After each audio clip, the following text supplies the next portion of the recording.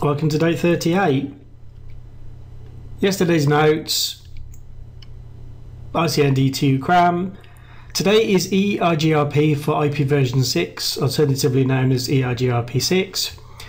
I wasn't sure whether to put this in the syllabus because Cisco, uh, up to the date I put the guide together, didn't mention EIGRP 6 but they do say EIGRP. So my feeling is they won't be asking questions because they didn't specifically mention it. However, it just leaves me with another dilemma that they are being vague, giving them the leeway to uh, add it to the exam.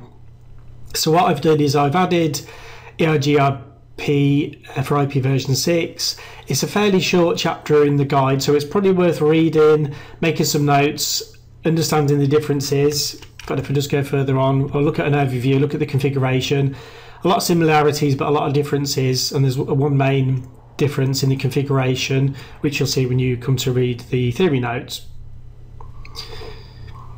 Um, I reckon so. Maybe dedicate 45 minutes roughly to this. Look at the configuration commands.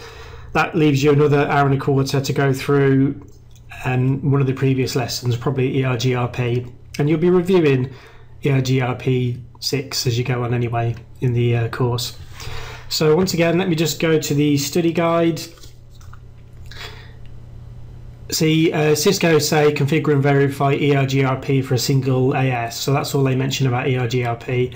So in the guide, we talk about the difference between version 4 and version 6.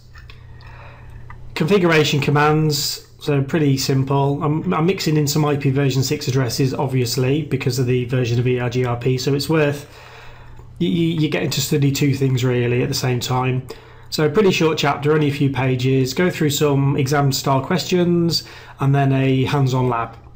That's all for today. I will see you tomorrow.